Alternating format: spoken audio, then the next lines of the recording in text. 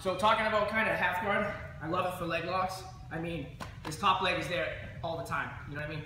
Whether I'm falling back, whether I'm spinning over to, to catch this leg, I have a leg lock at, at every point. So I, I, love being in half guard for that reason. I'm very confident from here too. Um, for this specific technique in kind of flow to work, I need to have my feet clear. So if he has me in lockdown here, just kind of tie, right? He kind of ties up. I can't do this because I can't rotate my hip. So I need to actually be free of this, and I need to have this foot up here, right? Just spin a little so you see. And in general, anytime in half guard, if you can hide this foot up here so that he doesn't catch it, because then if he catches it, you have to do all the work instead. Okay, it's just a pain in the butt. So sometimes I'll triangle here, I'll put heavy pressure with my hip down. Okay, it really makes it hard for him to move his hips around.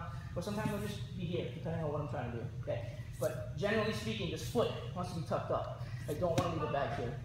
Okay, so like I was saying, I have my foot tucked up. I'm in a kind of conventional top half guard control where I have over under here.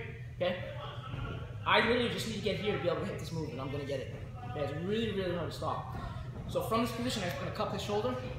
I'm gonna lean and drive my weight forward to the mat. Okay, see here. Next step is my hand's gonna come over his face. Okay, and I'm gonna just keep his head there. Right. Now I'm pretty inflexible. Okay, but I can do this move. So if I can do this, there's no excuses. Everybody should be able to do this move.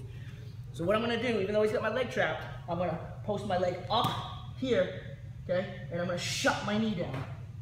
Right? Now I'm gonna just kind of pull his shoulder up a little bit and scoop my leg under his head. Okay. Now when I get to this point right here, I want to I want to stay tight.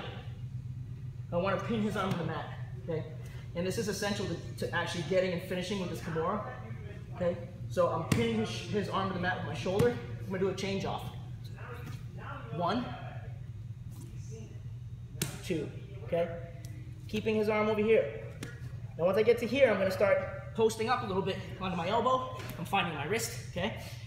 All of our weight is right here, okay? Now, I'm gonna move up, creep up. He taps from that, okay? If a guy has really flexible shoulders, I don't. I don't either, okay? I'm gonna post on his wrist, and now I just lift. You guys see that, okay? So posting on, I'm gonna move his arm down a little bit so he's more flexible. Post on his wrist, and I lift.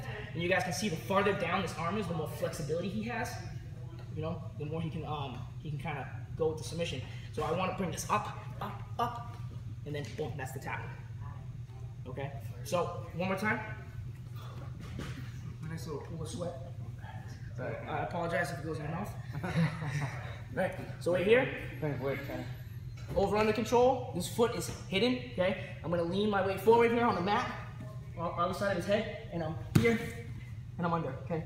Trapping this arm right there.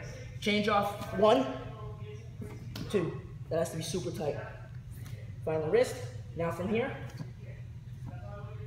bam, that's the tap, okay? All right. We're gonna start there and then we'll kind of change all together.